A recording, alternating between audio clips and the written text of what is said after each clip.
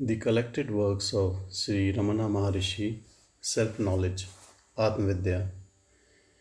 A devotee once wrote on a slip of paper that self knowledge is the easiest thing since one already is the self and handed to Bhagwan, asking him to write a poem on the subject.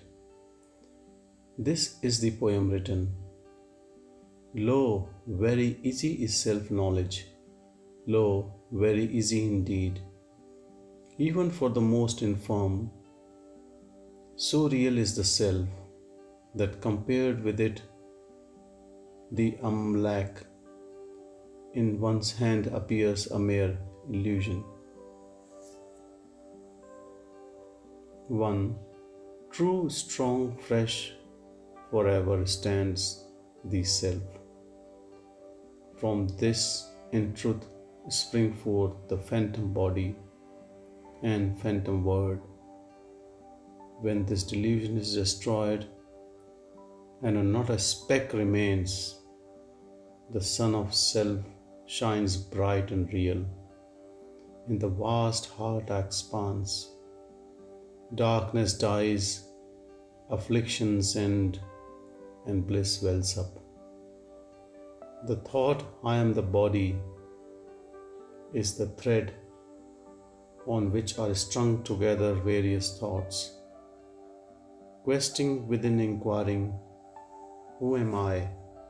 And whence this thought? All other thoughts vanish. And as I, as I within the heart cave, the self shines of its own accord.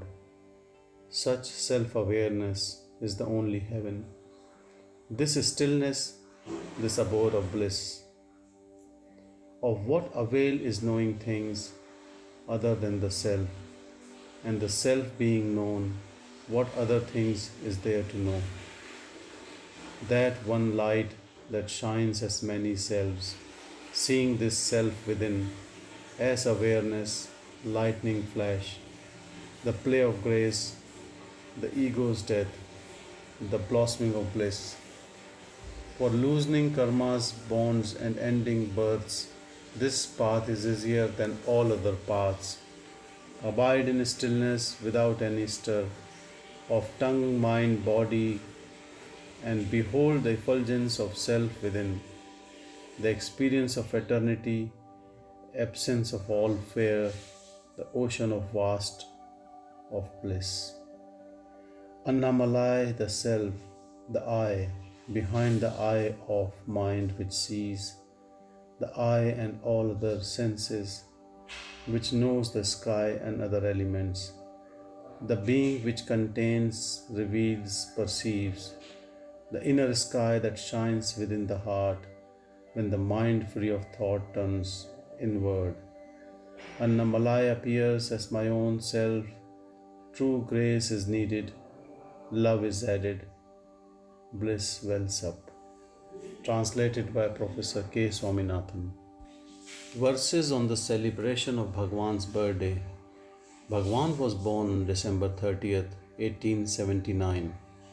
His birthday, however, is observed according to Tamil solar calendar in Dhanuramasa when the moon is with the star Punarvasu. According to the Western calendar, this day falls in the months of December January. It was one of the great annual festivals of the ashram and still is. When first it was proposed to celebrate it, however, Bhagwan protested and composed the following poem. However, his disciples began to celebrate it anyway. You who wish to celebrate a birthday, inquire first who was born. One's true birthday is when one enters into the eternal being which shines forever without birth or death. Of all days on one's birthday, one should mourn one's fall into samsara. To celebrate it as a festival is like adorning and glorifying a corpse. To seek oneself and merge in it is a wisdom. Complaint of the stomach. One day there had been feasting at the ashram. Many had been upset by the large quantity of rich food. Someone quoted the following complaint about the stomach by the Tamil poet Avvaiyar. You will not go without food even for one day, nor will you take enough for two days at a time. You have no idea of the trouble I have on your account. Oh, rest, stomach, it is impossible to get on with you. Bhagwan immediately replied with a parody, giving the stomach's complaint against the ego. You will not give even an hour's rest to me, you stomach. Day after day, every hour, you keep on eating. You have no idea how I suffer. Oh, trouble-making ego, it's impossible to get on with you. Nine stray verses. An old devotee, Som Sundara Swami, once begged Bhagwan to write in his notebook at least an akshara, a single syllable. An akshara also means undecaying and denotes Brahman. Bhagwan wrote a short epigram on the difficulty of writing down the akshara. This is the first verse below. The remaining verses were written at odd times by Bhagwan and included in some of the poems of Muruganar. The order used here was suggested by Bhagwan. 1. One's label shines forever in the heart as self. Who is there anywhere who can write it down? Incantation, reaching to the source of sound, is the best course for those who are not firm in consciousness, which is the source of the I. He who mistakes this excreta making body for self is worse than one who, born a pig for food, takes excreta incessant search for self, the love supreme of God, we call. For He alone, as self, abides within the heart of all.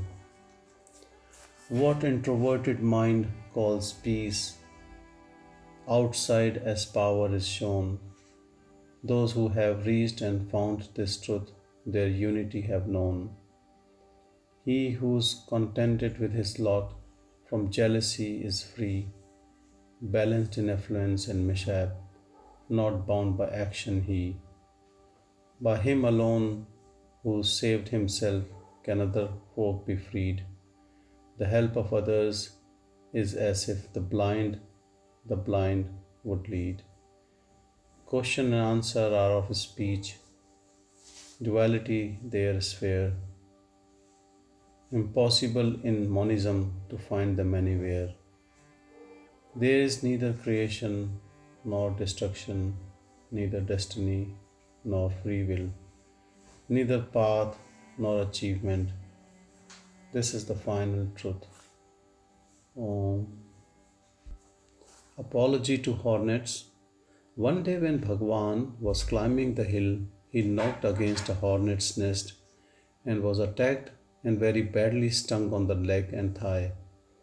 He felt remorse for having disturbed them, asked why he met with such harsh treatment for what had happened accidentally, he replied as follows When I was stung by hornets in revenge upon the leg until it was inflamed, although it was by chance I stepped upon their nest constructed in a leafy bush, what kind of mind is his if he does not at least repent for doing such a wrong?